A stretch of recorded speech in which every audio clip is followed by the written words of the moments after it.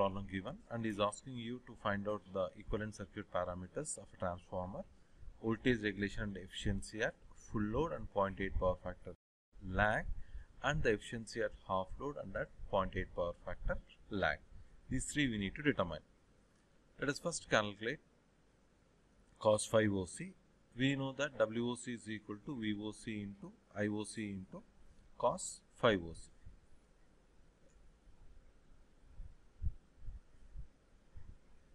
Rewriting the equation, cos phi OC is equal to WOC divided by VOC into IOC. Substituting the value of WOC as 75 watts, VOC as 120 and IOC as 4. We will get cos phi OC as 0.1562 and similarly we will find sin phi OC that is equal to 0.9877.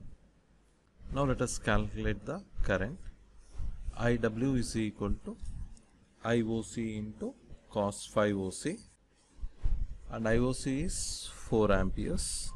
4 into 0.1562 that is equal to 0.6248 amperes. Similarly, I magnetizing is equal to IOC into sin phi OC that is equal to 4 into 0.9877 that is equal to 3.95 amperes. I magnetizing can also be calculated.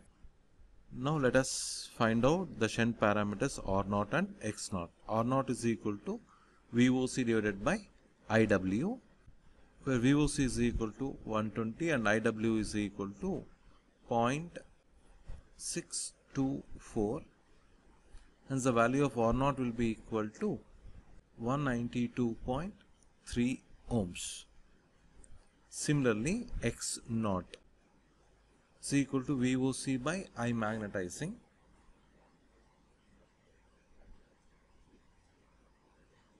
that is equal to 120 divided by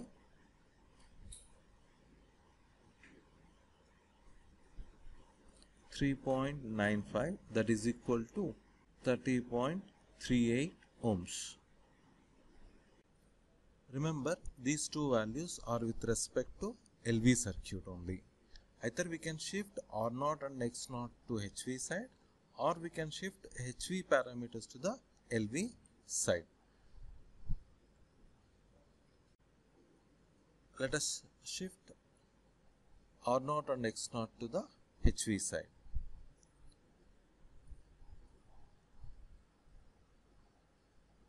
We know that the transformation ratio K is equal to number of turns on the secondary side by number of turns on the primary side or it is also equal to the ratio of primary current to the secondary current.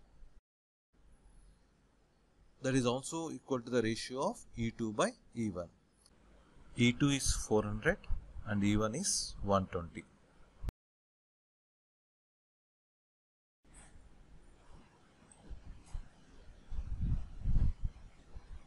and that is equal to 3.33.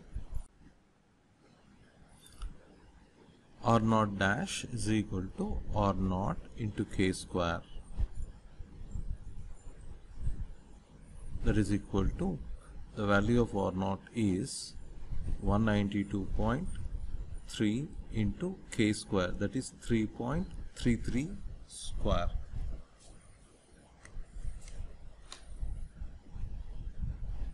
that is equal to 2136 ohms.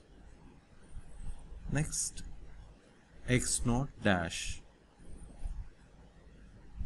x naught dash is equal to x naught into k square and that is equal to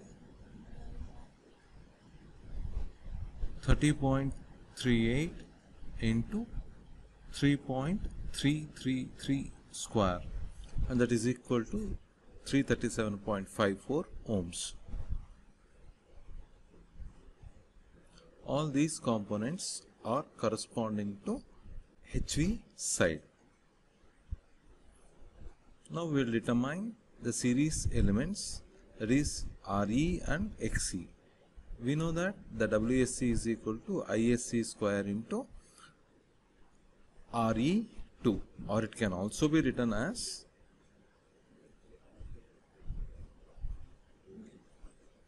RE with respect to HV side, the equivalent resistance referred to HV side.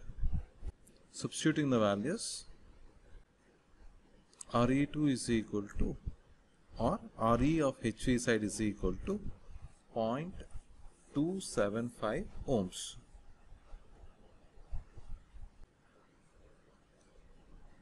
Equivalent impedance referred to HV side is equal to VSC by ISC that is equal to 9.5 divided by 20 equal to 0.475 ohms. Now we will determine Xe with respect to HV side that is equal to square root of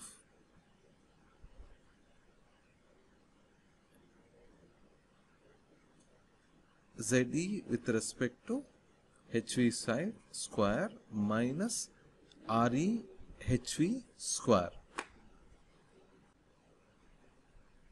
Substituting the values, we will get Xe of HV is equal to 0.3872 ohms. Now we will substitute all these values in the equivalent circuit. This equivalent circuit is with respect to HV side.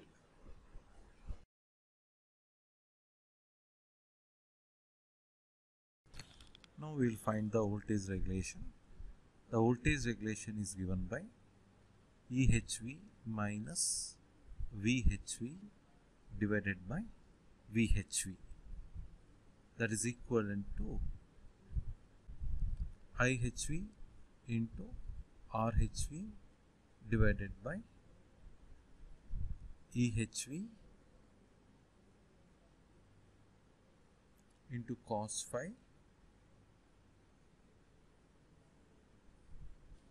plus IHV into XHV divided by EHV into sin phi. As the power factor is lagging, hence we consider the positive sign. Whole thing is multiplied with 100 to get percentage of voltage regulation. IHV can be calculated as the transformer rating is in kVA that is 8 kVA is equal to VHV into IHV or IHV is equal to 8 into 10 to the power of 3 divided by the voltage on the HV side. That is 400 that is equal to 20 amperes. Now we will substitute all the values in the voltage regulation formula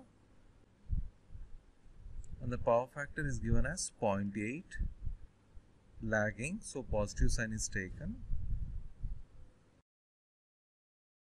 and sin phi is 0.6